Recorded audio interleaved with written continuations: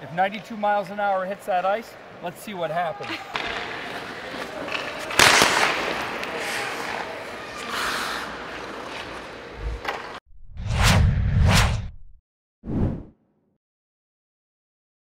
All right, we're back here for another episode of Science of Sports, and I am joined by Dr. Kenda. And today we're looking at the evolution of a hockey stick and how kind of it has progressed throughout the years. Absolutely. So today, these younger athletes are stronger, faster, and they're hitting harder. And we thought, what better person to do this than our leading goal scorer, Reid Boucher.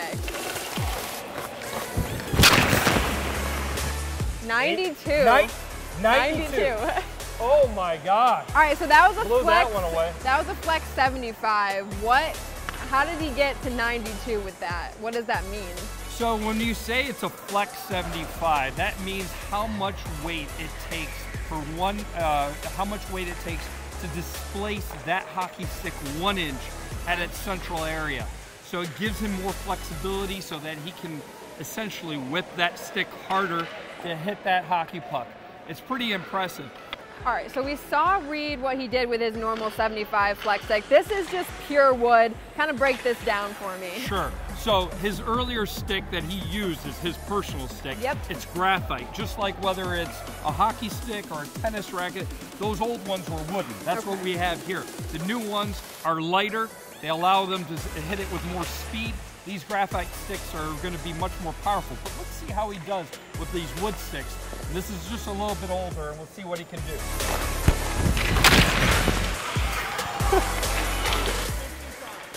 no way. Was that a good hit?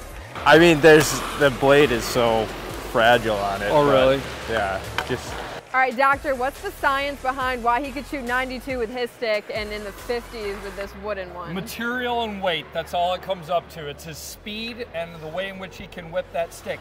Also, this has less give, so it doesn't give him enough power to whip that uh, puck a little bit harder. All right, so break down this next stick. This next stick is a two-piece stick. Okay. It's uh, a combination of wood and composite. Uh, so this is a progression through the process. So last time he used a wood stick, we're gonna see him use the hybrid.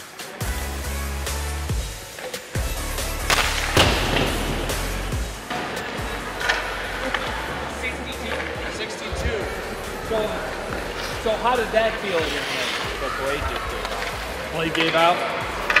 So you can tell the difference of each stick. Yeah.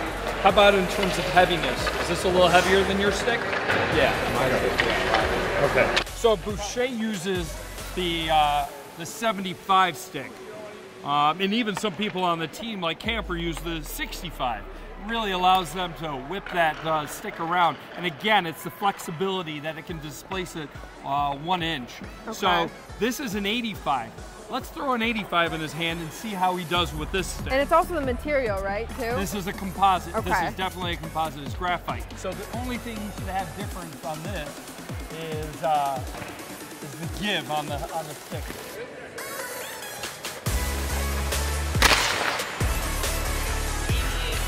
So how did that feel in your hand? Pretty similar to mine, a little stiffer. A little stiffer. So you like that last little whip that the, your stick gives you? Yeah. Okay. All right. So what he used right here was the 85, and it was. Um, It was a little about- slower, so Slo- significantly slower. He was up to 92 on your Right. 65. So we'll try one more up, uh, and we'll try the 100 at this point in time. Let's see how you do with that. there it is. Now, now, now, now, don't don't favor your stick. Give it a good whack, okay?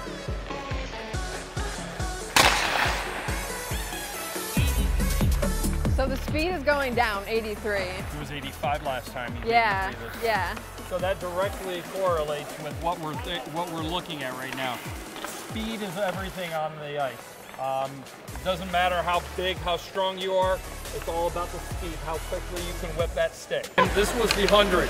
Tell us what did you feel different on that compared to your stick? And I'll put your stick in your uh, hand. was it when you hit it or the feel on Yeah, it? it's stiffer, and that one's longer than mine, so it's heavier. A little bit heavier. Yeah. Okay. So why do you prefer the 75? Because I can shoot the same with less effort. So I get a quicker release. quicker release. I think that's the key, right? You can get rid of that puck faster. And give you a little bit more speed on there. Well, not a little bit, it's a lot now, of speed. now we have the science behind it. Is it kind of cool for you to see the speed go down as you, Yeah. the higher the flex? All right, so doctor, we were talking about Dylan Blujus and how that shot going at a certain speed kind of shattered his finger. Absolutely. So Reid's going to go ahead, and as you showed already, he's hitting 92 miles an hour. That shot that Dylan took was probably about 12 feet off. It began its acceleration. It also was a one-timer, so there may have been a little more impact on that. But as that as that puck accelerates, how many times are guys dropping down or throwing their bodies in front of that? Have you have you taken have you taken a couple hits on yourself with uh, so impact's on there? But that being said, the bone that took that impact, its modulus of strength, its uh, elasticity on that bone is much smaller than that on what's on the ice. So if 92 miles an hour hits that ice, let's see what happens.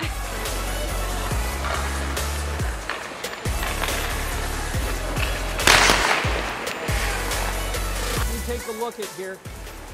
Looks like you caught this right in the, uh, the bottom left corner on it. But uh, that thing cracked right in half. And that was about 92 miles an hour. Let's just call it an even 90 miles an hour. And so its impact cracked that, that uh, block of ice. And that block of ice is every bit of about four to five inches thick. Sorry, Dylan. That's not how strong your bone on your hand was. but you took that impact. That's what it does to ice. Imagine what it can do to any bone in a uh, in another hockey player's body. All right, so that was fun, but Dr. Kendra, I just want to wrap it up. What did we learn with Reid Boucher? Great. So, Reid, uh, when you were younger, you used a wooden stick, right? Yeah. Not that old, but they, they had. But now we have composites, right? Graphite. They're lighter. They're faster. You like a little more give. It gives you a little harder whip. It's lighter to get around, right? As you saw, your shot is much more powerful with the stick that you're used to hitting. But these heavier sticks and uh, ones that don't give as much, although they may be a little stronger, they're still, in terms of its strength, they're not giving you as much power because it's a velocity that's more important than any, any power behind that, right? Well, there you have it. That is the science behind the sport.